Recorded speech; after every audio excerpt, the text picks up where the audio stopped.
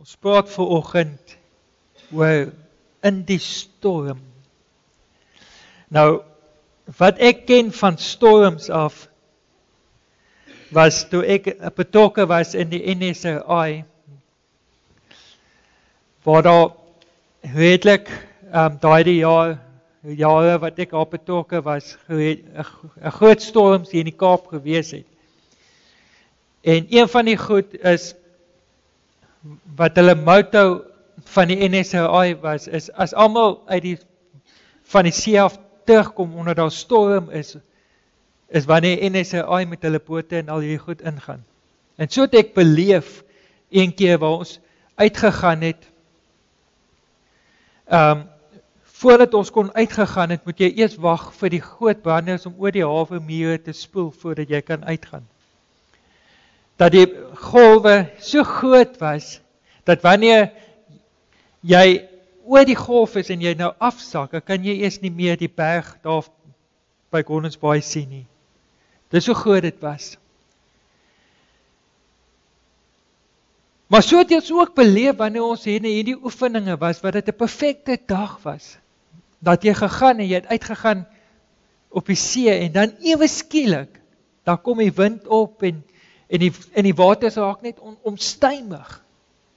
En so het daar so baie mense al in die moeilikheid beland as gevolg van die onstuimige waters wat hulle beleef het. Hulle het uitgegaan om gewoon te gaan visvang of net 'n bietjie hulle self te geniet op die water en dan ewe skielik dan is hulle in hierdie storm. En so bevind ons ons baie keer ook ons het hier wonderlike lewe daaglikse lewe, ons gaan aan met ons daaglikse rotine, staan op, gaan werk toe, doen al hierdie ander dinge en dan ewe skielik dan kry jy mense hierdie rapport van die dokter af. Net soos wat ons nou gehoor het van Fani. Fani het net gegaan vir hierdie check-up. En hy kry toe die nuus hy kanker. En hy bevind homself in 'n storm.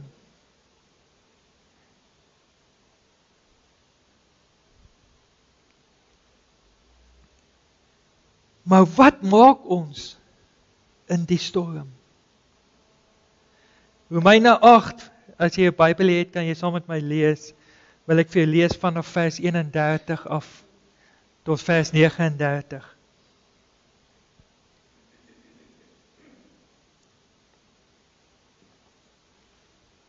Paulus wat hierso skryf aan hierdie gemeente en dan sê hy wat sal ons dan dan hiervan sê As God vir ons is, wie kan teen ons wees?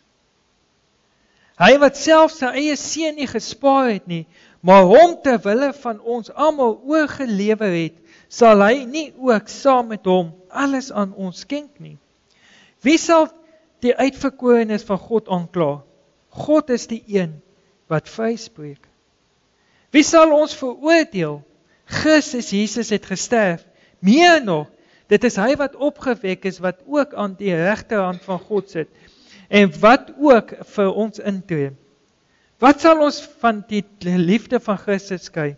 Swaarkry of benoudheid of vervolging, honger, naaktheid, gevaar of swaard? Soos daar geskrywe staan: Ter wille van U word ons die hele tyd aan die dood uitgelewe, word ons so slagskape behandel. Maar in alles is is ons self meer as oorwinnaars deur hom wat sy liefde aan ons bewys het. Ek is immers daarvan oortuig dat geen dood of lewe of engele of magte of teenwoordige of toekomstige beere of kragte of hoogte of diepte of enige iets anders in die skepping ons kan skei van God se liefde wat daar in Christus Jesus ons Here is nie.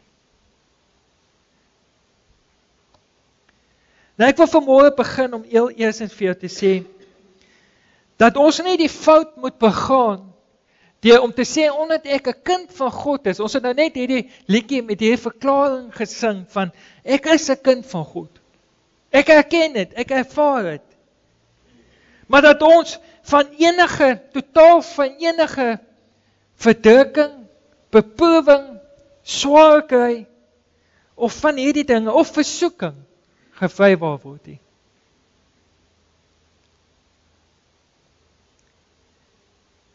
Dit is die realiteit van die lewe.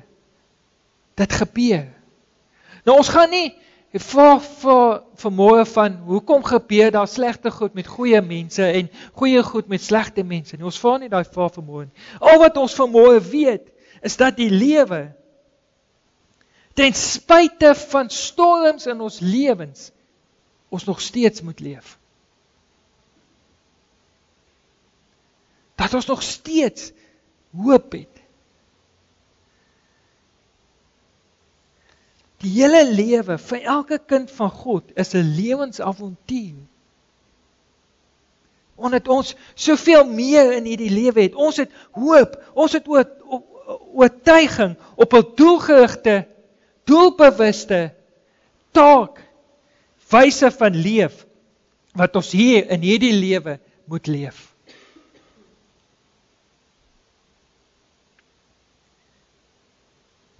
So geloof is iets prakties wat in my lewe werksaam is. Ek kan nie sê ek het geloof maar nou sit ek en dan sê ek Here maar nou wag ek nou maar.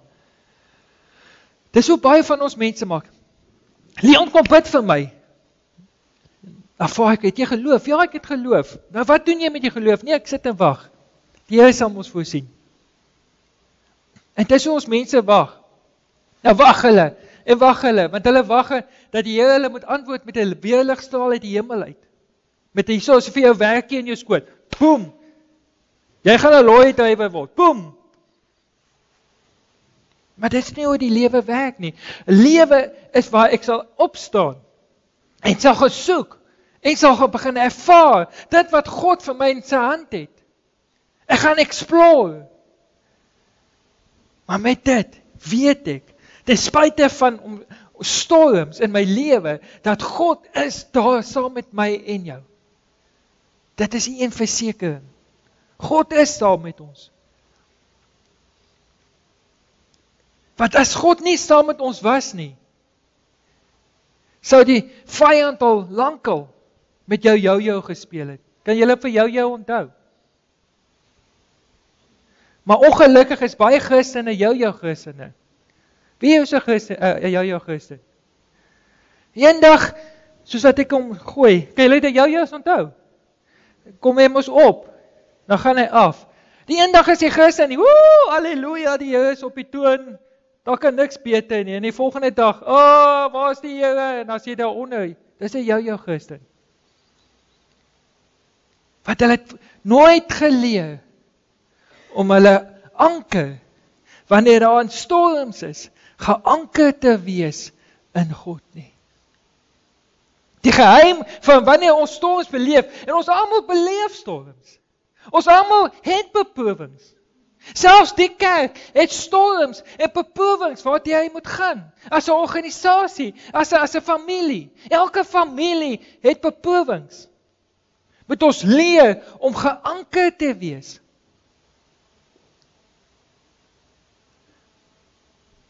wat storms kan lelik raak.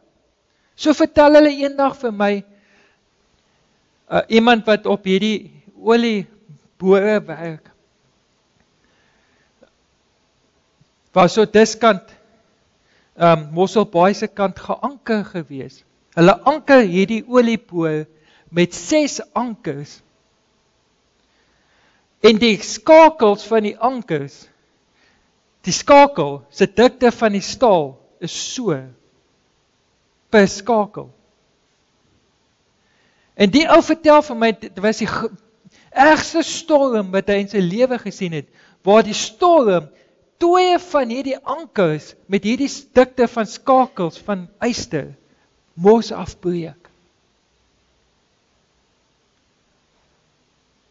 Maar so sit ons ons ankers Ons ons ons vat ankers en ons vat eintlik verkeerde ankers in die lewe.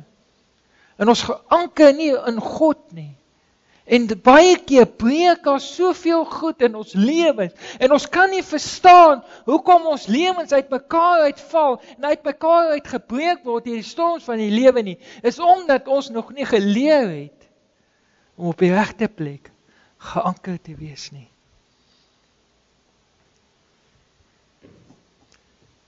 So daarom wil ek vanmôre vir jou sê die lewe gebeur Daar gebeur goed in jou lewe. Maar een ding wat jy moet onthou, God is in beheer. Nou hoe leef ek in die oorwinning? Wat is die gebeurtenis en aard van oorwinning? Nommer 1 wat ons gelees het is dat ons oorwinning gewaarborg is in een iets. En dit is Jesus Christus. Vanuit hom is daar oorwinning en dit is hoekom Paulus daar skryf in daai gedeelte wat ons gelees het waar hy sê dat Jesus Christus het gesterf maar hy het ook opgestaan. Want een ding toe Jesus sterf, het hy al ooit aan gedink. Het hy al weet, hy het al geweet dat hy gaan opstaan.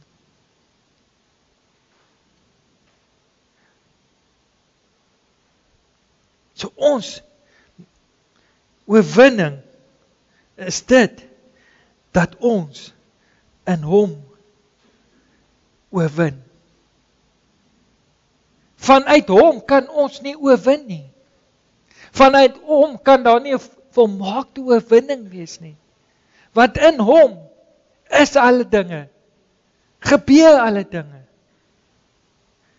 Maar die geheim dan daarby is is dat hierdie oorwinning van ons lewens moet hier binnekant in ons gebeur.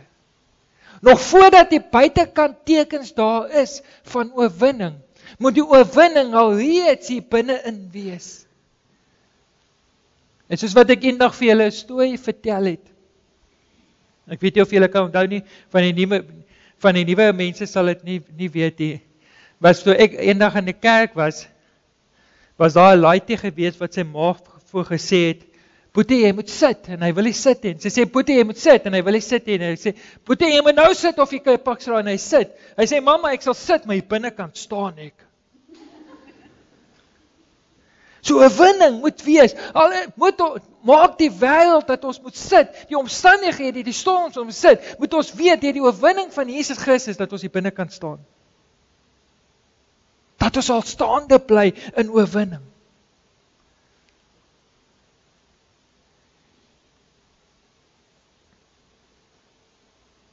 Daarom moet ons nooit die dood van Jesus Christus beskou as die finale ding nie. Maar juis die stap van iets beter. Daarom moet ons altyd in ons omstandighede, wanneer ons die dood in ooskou neem, en wat ook al se vorm, dat ons die oorwinning sal sien. En daai hoof, hoofstuk waar Jesus die storm op die see stil gemaak het. Kan julle onthou daai storie? In dieselfde hoofstuk is die storie daar dat hy die Jairus se dogtertjie uit die dood uit opgewek het. In dieselfde hoofstuk is dit daar die storie van die vrou wat aan bloedvloeiing gelei het. Maak nie saak wat se tipe storm jy het nie. God kom en hy kom in jou omstandighede en raak jou aan.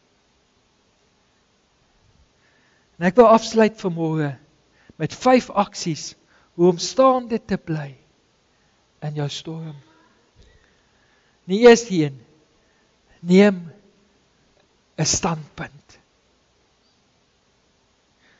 Ons moenie toelaat dat ons omstandighede ons rondslinge nie.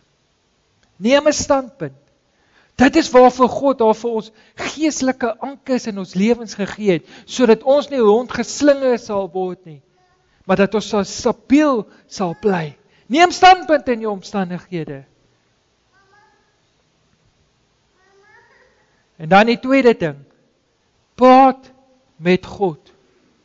My probleem wat ons baie keer doen in omstandighede en ons storms is ons praat met ons omstandighede. Ons praat meer graag met ons omstandighede van hoe sleg is die omstandighede en hoe nie te neergetrek ons is en hoe dit ons so aftrek en en hoe ons ons gaan doodmaak as wat ons met God moet praat wat die omstandighede kan verander en dit kan elimineer en dit kan verwyte in jou lewe. So praat. Leef met God te praat as wat om nie heeltyd met omstandighede te praat. En dan die tweede, derde ding. Neem die regte besluite. Baie keer in die omstandighede waar jy jouself bevind. Want soos wat ek ehm um, daar donderdag by Fanie toe gestaan het weer. En hy daai nuus gekry het. Was daar soveel emosie by betrokke geweest? Waar hy net gesê het, maar ek gaan net my kop laat gaan sodat ek die regte besluite sal neem. Dit is so belangrik dat wanneer ons in omstandighede wat ook al jouself bevind, die regte besluite sal neem. En daarom het ons God nodig om ons gedagtes en alles in te rig sodat ons die regte besluite kan neem. Want baie keer deur die verkeerde besluite bring ons nog meer goed op ons lewens. Nog meer pyn, nog meer omstandighede, nog meer moeilikheid. En dan wat maak ons? Ja, maar dit is die Here se skuld. Pastoor, die Here het my verlaat. Die Here doen dit. Die Here doen niks. Die Here het jou nie verlaat nie. Dis jy. So neem die regte besluit. Dan die vierde ding. sien die goed in die regte perspektief. Dit help nie jy sit met hierdie groot probleem en jy dink is hier 'n klein dingetjie nie. Dit help ook nie jy sit met hierdie klein dingetjie en jy maak dit so groot jy al so 'n ding nie. Dit doen ons mos baie graag. sien alles in die regte perspektief. Sodat jy dit met die regte houding, met die regte krag, met die regte slaankrag, met die regte um, wapens daardie goed kan hanteer.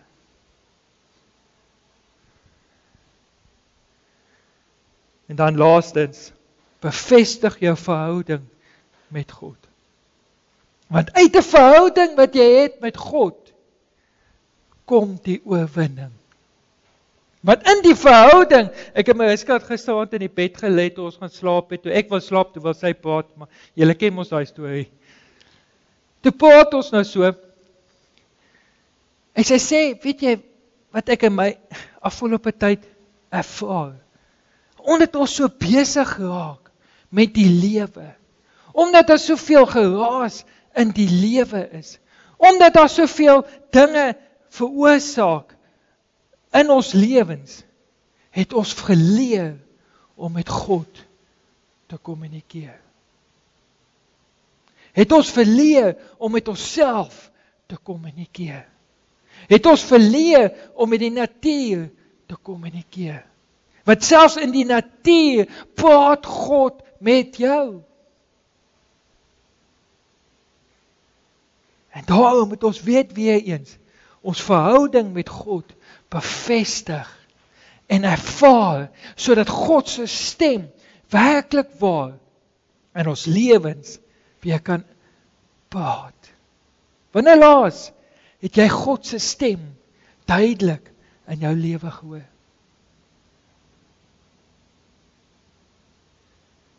Daarom wil ek afsluit vanmôre en vir jou aanmoedig om te sê: Maak nie saak wat se storms jy jouself nou in beleef nie. Maak nie saak wat se storms oor jou pad kom nie. Daar is altyd mooi weer op pad. Wanneer God betrokke is, is daar mooi weer. Maar wanneer jy jouself in 'n storm bevind of jy gaan dalk in 'n storm bevind, leer daaruit. Moenie dit nie vervloek nie. Leer daaruit. Ontdek God daarin sodat jy en ek 'n beter mens kan word.